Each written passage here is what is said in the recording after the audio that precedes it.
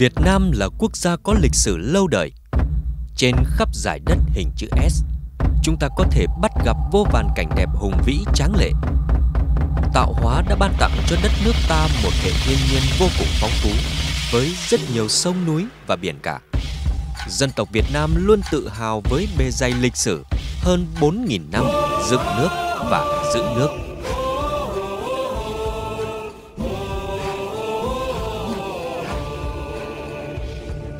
Ôi đất nước, sau bốn ngàn năm, Đi đâu ta cũng thấy. Những cuộc đời đã hóa núi sông ta. Đất nước là nơi dân mình đoàn tụ. Đất là nơi chim về. Nước là nơi rồng ở.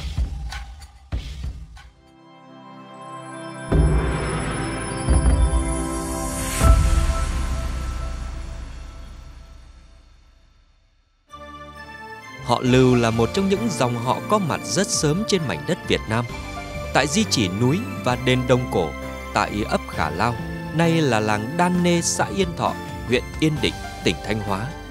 Thần núi Đông Cổ, tiếng Việt là Trống Đồng, xuất hiện từ thời lập nước Văn Lang và được Hùng Quốc Vương phong vị là đồng Cổ Đại Vương.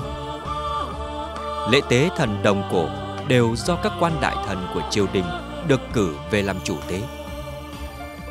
Hầu hết các vua chúa đều về đây cúng bái, được linh ứng đã phong sắc rất nhiều lần và cấp tài lực cho tu bổ và tôn tạo di tích đền Đồng Cổ.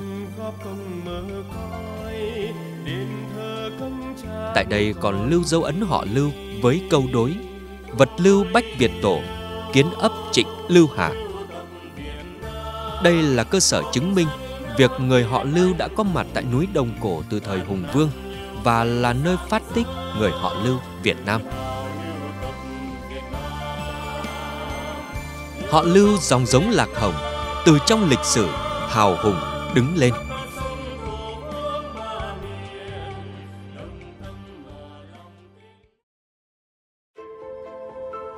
Thời tiền Lý, hai anh em nguyên soái Lưu Công Dũng và Lưu Công Uy đã phỏ tá Lý Nam Đế đánh đuổi giặc lương, dựng nên nhà nước Vạn Xuân.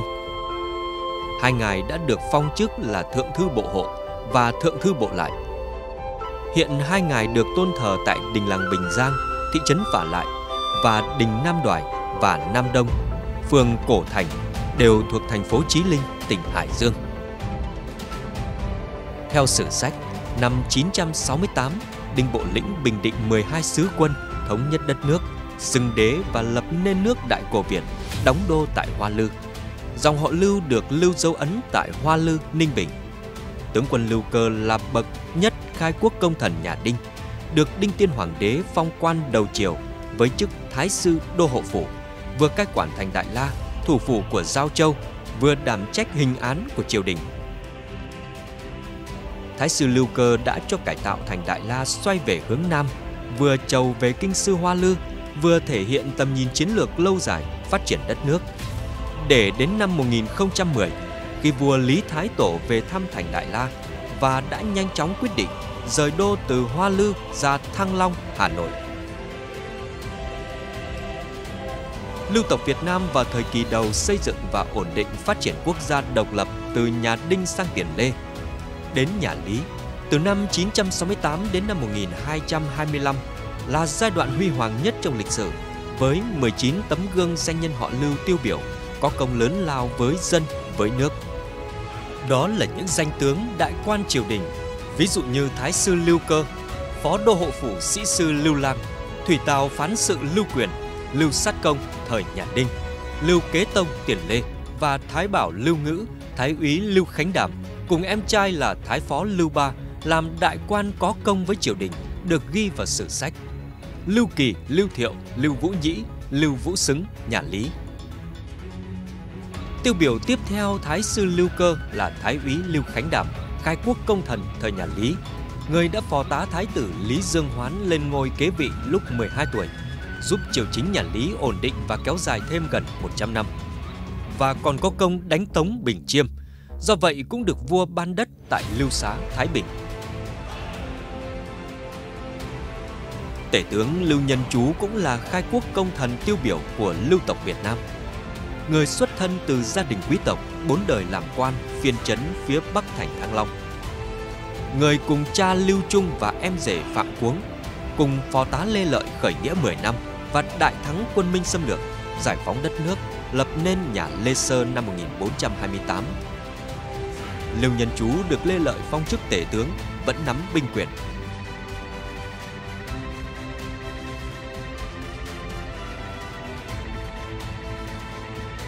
Năm 1470 đến năm 1471, vua Lê Thánh Tông phát động chiến dịch Nam Tiến đánh dẹp quân Chiêm Thành. Đại tướng Lưu Văn Tiên đã cùng hai quan quân họ Lê và họ Nguyễn cai quản và lập nên làng Cao Lao Hạ tại thành Khu Túc, Quảng Bình.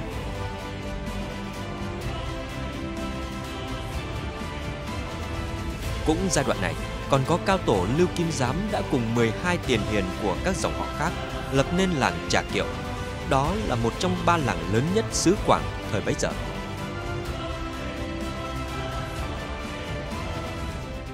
Đến năm 1493, tướng quân Lưu Văn Huân được điều vào cai quản Điền Quan Trại trên bờ sông Thu Bồn, lập nên làng Dưỡng Mông, tỉnh Quảng Nam.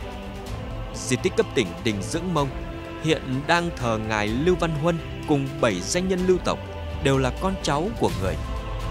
Từ tộc Lưu Dưỡng Mông đã lan rộng ra hàng chục chi và phân nhánh tộc Lưu tại miền Trung Nam Bộ, Hà Nội, Huế và tỉnh Vĩnh Long.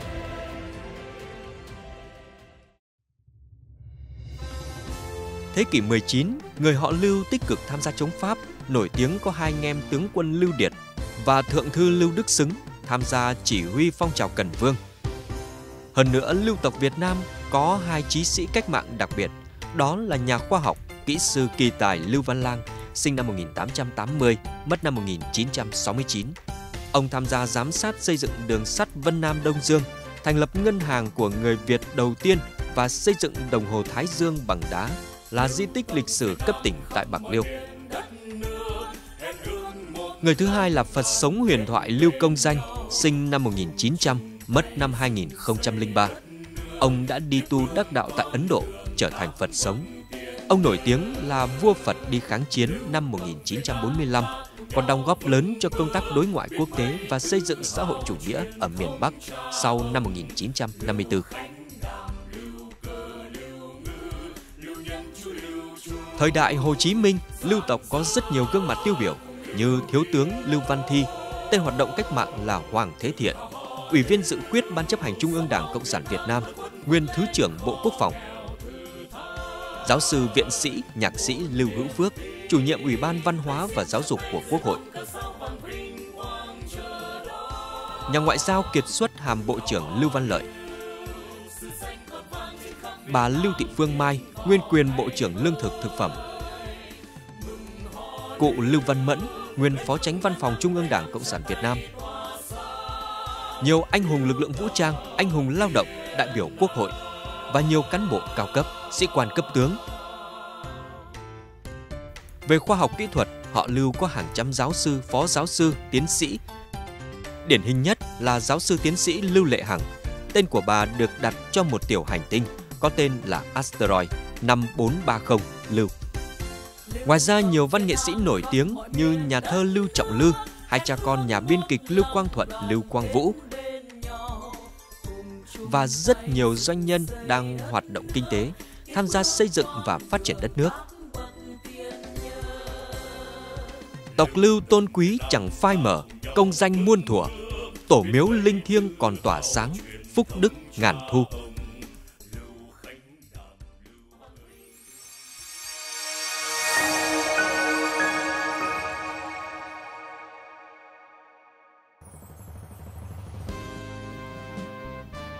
Năm 2013, lần đầu tiên lưu tộc Việt Nam đã tổ chức Đại hội gặp mặt lưu tộc toàn quốc tại Lưu Xá, xã Canh Tân, tỉnh Thái Bình.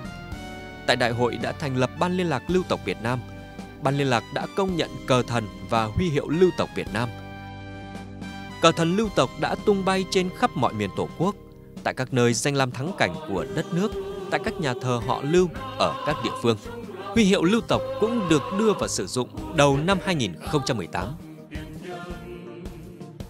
Năm 2018, Ban Liên lạc Lưu tộc Việt Nam được đổi tên thành Hội đồng Lưu tộc Việt Nam và ra mắt tại đền Lưu Xá vào ngày dỗ Thái úy Lưu Khánh Đàm. Hội đồng đã tổ chức đại hội lần thứ hai tại Thái Nguyên vào dịp lễ tưởng niệm 585 năm ngày mất của Tể tướng, Thượng tướng quân Lưu Nhân Chú vào tháng 3 năm 2019. Đây là đại hội thể hiện sự lớn mạnh mang ý nghĩa đoàn kết thống nhất và quyết tâm cao, kết nối và phát triển lưu tộc Việt Nam. Thể hiện uy tín không chỉ trong lưu tộc mà còn với lãnh đạo các địa phương và trung ương. Nhờ vậy, Hội đồng Lưu tộc Việt Nam đã nhận được nhiều lãng hoa và lời chúc mừng trang trọng của các chính khách là lãnh đạo đảng, nhà nước và chính phủ, cũng như của lãnh đạo các tỉnh thành, nơi tổ chức các sự kiện quan trọng của lưu tộc. Hoạt động của lưu tộc Việt Nam luôn kết hợp chặt chẽ với cấp ủy, chính quyền, mặt trận, đoàn thể các địa phương và các cơ quan trung ương, khẳng định vị trí, vai trò của họ lưu Việt Nam trong sự nghiệp xây dựng và phát triển đất nước. Hiện nay, người họ Lưu có mặt trên tất cả 63 tỉnh thành. Về dân số, họ Lưu đứng thứ 25 trong các dòng họ Việt Nam. Từ năm 2013 đến nay, Lưu tộc Việt Nam sẽ duy trì kết nối xuyên suốt nhiệm kỳ 1, 2 và sang nhiệm kỳ 3. Đã kết nối yêu thương 500 chi họ Lưu trong cả nước và lan tỏa hoạt động đến 8 hội đồng lưu tộc và nhiều ban liên lạc lưu tộc tại các địa phương. Đã tổ chức thành công liên kết các doanh nhân, doanh nghiệp lưu tộc thành câu lạc bộ doanh nhân lưu tộc và ra mắt vào ngày 9 tháng 10 năm 2022. Với phương châm luôn hướng về cội nguồn, Lưu tộc Việt Nam đã chú trọng tri ân báo hiếu tổ tiên. Hội đồng lưu tộc đã phối hợp với chính quyền các địa phương vận động bà con đồng tộc và các đối tác của lưu tộc công đức cho tu tạo các di tích thờ cúng các vị khai quốc công thần họ Lưu. Tiêu biểu là Thái sư Lưu Cơ, Thái úy Lưu Khánh Đảm và Tể tướng Lưu Nhân Chú và khích lệ các chi họ tu sửa, xây dựng nhà thờ họ ở nhiều nơi.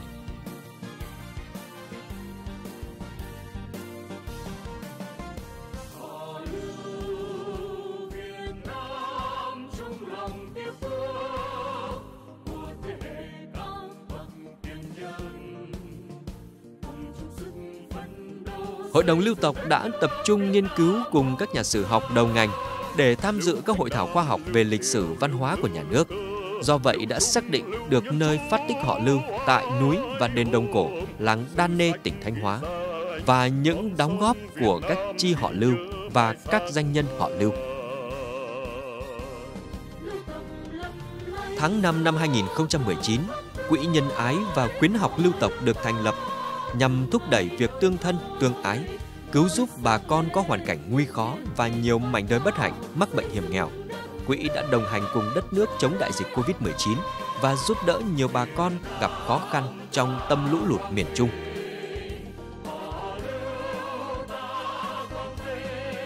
Về khuyến học, Quỹ đã khích lệ và thưởng, vinh danh cho nhiều con em họ Lưu đoạt giải trong các kỳ thi học sinh giỏi và thi tài năng quốc gia, quốc tế, đạt thủ khoa các trường đại học và mới bảo vệ luận văn tiến sĩ. Nhờ vậy đã tạo động lực cho các thế hệ trẻ phát triển tài năng toàn diện.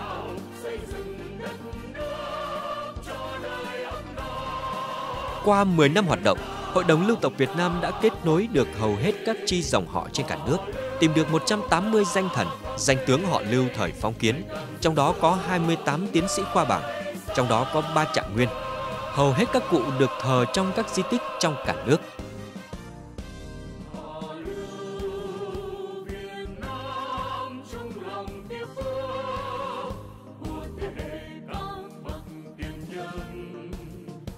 Lưu tộc Việt Nam thường xuyên tổ chức chiêm bái các di tích thờ cúng các vị khai quốc công thần là người họ Lưu và tế tổ của các dòng họ trong cả nước.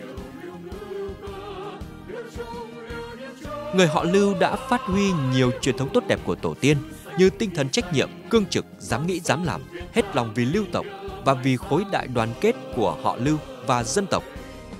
Lưu tộc nhớ đến ân đức tổ tiên và thành tâm cung kính đóng góp công sức tiền của trí tuệ cho họ tộc cho quê hương, cho đất nước.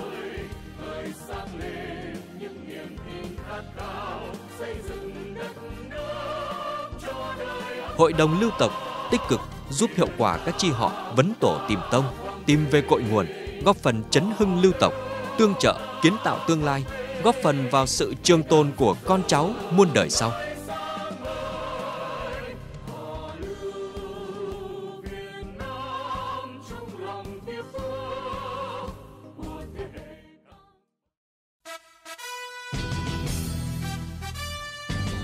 Ngày nay tuy cuộc sống, việc mưu sinh bộn bề hối hả, nhưng mỗi cá nhân họ Lưu vẫn cố gắng kết nối, gắn bó với nhau, tiếp tục nối vòng tay lớn lưu tộc cùng huyết thống hay cùng tên họ Lưu với tinh thần một cây làm chẳng nên non, ba cây trụ lại thành hòn núi cao. Phát huy đạo lý đó, đại tộc họ Lưu đang cùng nhau đoàn kết thống nhất. Dù đang sinh cơ lập nghiệp ở đâu, thì người họ Lưu đều là con cháu Lạc Hồng. Trăm sông đổ một biển đông, họ Lưu mãi mãi là trong một nhà.